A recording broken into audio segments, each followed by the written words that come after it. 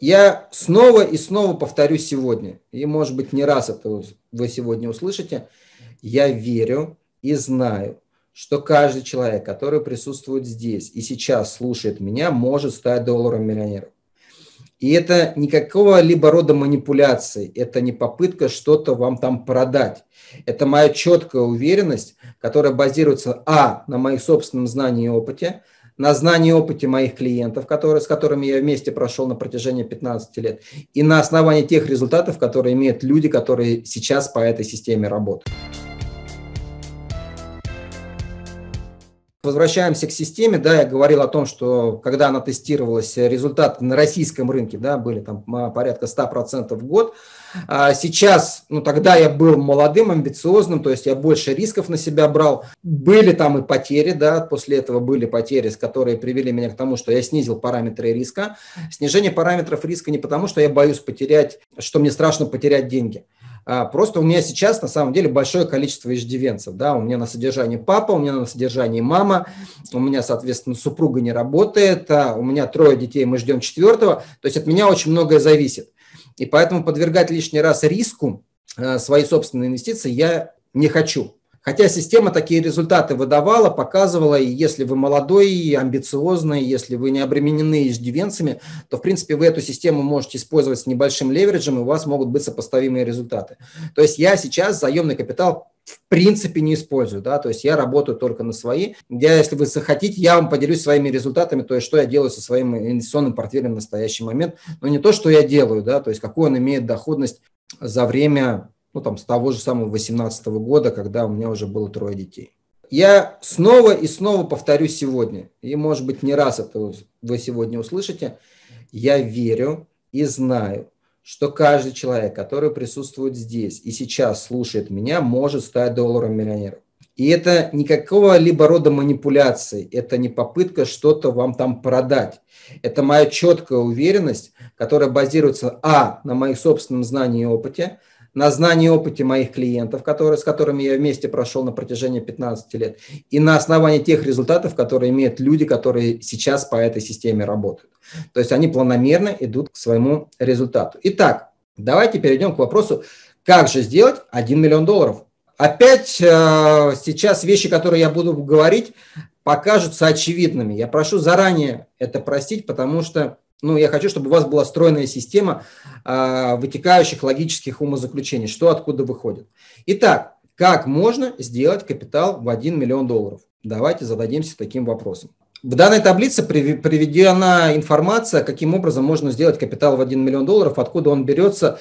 А, чудес не бывает. Да? Чем выше риск, тем выше доходность, тем ниже риск, тем ниже доходность. Соответственно, нам нужно понимать, в каком горизонте времени мы можем достичь капитала в 1 миллион долларов при различной норме доходности инвестиций. Если мы будем вкладывать под 10% годовых, то даже через 25 лет мы собственных денег проинвестируем 1000 долларов на старте, 100 долларов ежемесячно, 500 долларов на Новый год и 1000 долларов на день рождения. Соответственно, в общей сложности за 25 лет мы проинвестируем 68 500, с доходностью 10% наш капитал составит всего лишь 286 тысяч долларов. С доходностью 15% через 25 лет э, у нас будет капитал всего лишь 679 тысяч долларов с доходностью 20%, капитал в 1 миллион долларов, то есть вот а, обозначена некая такая область э, зеленого овала, когда и при каких условиях мы можем получить капитал в 1 миллион долларов. А, получается, что если у нас доходность наших инвестиций составляет 20% годовых, то наш миллион долларов а, образуется в промежутке между 20 и 25 годами. То есть в 20 лет это будет 650 тысяч, а через 25 лет это будет уже миллион 619. Соответственно, с доходностью 25% годовых капитал в 1 миллион долларов будет сформирован в промежутке между 15 и 20 годами. Ну и, соответственно, если у нас доходность инвестиций будет 30% годовых, то в этом случае наш капитал формируется где-то через 16-17 лет. Вот такие вот мы видим цифры, да, Ребят, чудес никаких нету, мы опять оперируем понятными нам цифрами, то есть где можно взять эту доходность. Соответственно, мы должны здесь понять одну простую вещь.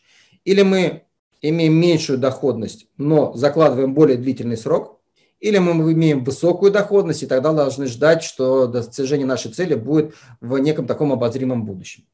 И после этого возникает закономерный вопрос. Все это здорово, а где взять доходность 20, 25, 30 процентов? Ребят, у кого такой вопрос возникает? Напишите в чатике. Смотрите, публичный, мой собственный а, публичный эксперимент. Это мой собственный брокерский счет, соответственно, здесь видно, вот я специально подсветил, что это брокерский счет, что это, соответственно, дата 29 сентября 2020 года в режиме реального времени идет что это Петров Максим Витальевич, что это субсчет одного из моих детей. Соответственно, вот здесь видите, что среднегодовая доходность с октября 2018 года по э, настоящий момент, среднегодовая доходность 45, ну, 46%. Среднегодовая. Что значит среднегодовая доходность по алгоритмам расчета данной доходности у открытия брокера? Это значит, что я вкладываю не сумму какую-то, и она мне приносит доход, а оно у меня растянуто. То есть вот э, точечки на графике, да, это, то есть это периоды инвестиций, то есть видно, что деньги докладываются. Но здесь просто идет немножко некорректно, потому что когда я размещал, открывал э, данную программу, делал публичный эксперимент, то в этом случае, получается, я открыл субсчет на своем основном счете.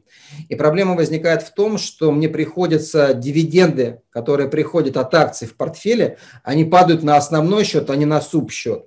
И поэтому, получается, мне приходится переводить, и у меня поэтому доходность плывет, и здесь результаты чуть-чуть лучше показываются, чем в там, где я веду это публично, да, то есть где у меня происходит непосредственно аналитика по инвестиционному портфелю. Это, соответственно, как ведут себя портфели, как растет капитал каждого из моих детей троих. И это финансовый результат. То есть финансовый результат 2018 э, года, то есть с самого начала года было не очень удачным, потом 2019 год был годом роста, 2020 год тоже начали достаточно бодро, можно видеть на графике, что вот у нас бодрое начало 2020 года. Вот она коррекция по финансовому результату. И, соответственно, сейчас вот по-прежнему мы непосредственно находимся в плюсе.